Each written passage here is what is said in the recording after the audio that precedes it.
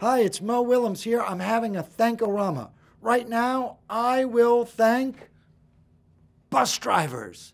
Thank you guys for getting us from point A to point B and never letting the pigeon do any of the driving.